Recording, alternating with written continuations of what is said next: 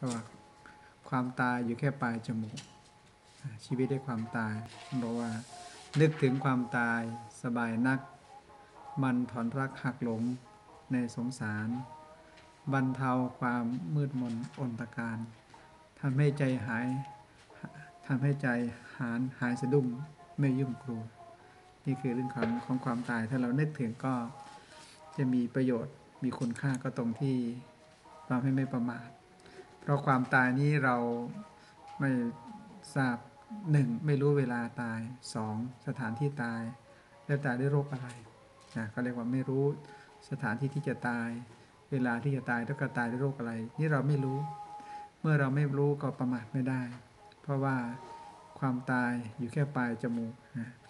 หายใจเข้าไม่หายใจออกก็ตายหายใจออกไม่หายใจเข้าก็ตายดังนั้นชีวิตเราจึงแสนสั้น หรือคำหนึ่งที่บอกว่า ชีวิตมนุษย์เรานั้นไม่ยืนถึงหมื่นปี แม้ที่จริงแล้วชีวิตความตายมาพร้อมกับความเกิดนั้นในช่วงวันนี้ก็ได้ยินข่าวจากทางเลสเตอร์ ทางพ่อบ้านของโยมนางได้ใช้เดินทางอุบัติเหตุแล้วเดินทางกลับบ้านด้วยรถยนต์แล้วก็เจออุบัติเหตุเสียชีวิตทางคณะสงฆ์ วัดทางเลสเตอร์ ทางวัดพรหมวชิรญาณเลสเตอร์ ก็ได้ไปสวดอภิธรรมให้ แล้วก็ได้ให้กำลังใจ ให้กำลังใจเข้มแข็งญาติโยมที่ได้อุปัฏฐากวัดวา มีวัดวาแห่งนั้นก็ให้ได้เป็นที่พึ่งและกำลังใจยังไงก็ให้ขวัญและกำลังใจกันนะชีวิตนั้นเกิดมาแล้ว ไม่แค่ก็ต้องจากกัน ไม่จากเป็นก็จากตาย นี่เป็นสัจธรรมฉะนั้นเราท่านทั้งหลายก็จึงไม่ประมาท สิ่งที่จะติดตามเราไปได้ก็คือความดีท่านบอกว่า ทรัพย์สินเงินทอง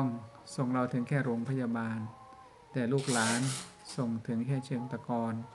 แต่บุญกุศลทุกส่งอส่งเราไปถึงทุกทุกภพทุกชาติเลยนะพูดง่ายๆว่า ทรัพย์สินเงินทอง ส่งเราถึงแค่โรงพยาบาลไปยาจ็บไข้ได้ป่วย แต่ลูกหลานก็ไปส่งทั้งเชิงตะกอนเผาเสร็จเขาก็ยืนร้องไห้แล้วก็กลับแต่บุญบาปกุศลติดตามเราไปทุกภพทุกชาติ ฉะนั้นจึงขออ่าปรารบและขอแสดงความเสียใจอำลาอะไรจับโยมนางที่อยู่เลสเตอร์ และสามีที่เสียชีวิตไปอขอให้ดวงวิญญาณไปสู่สุคติแล้วก็ให้กำลังใจ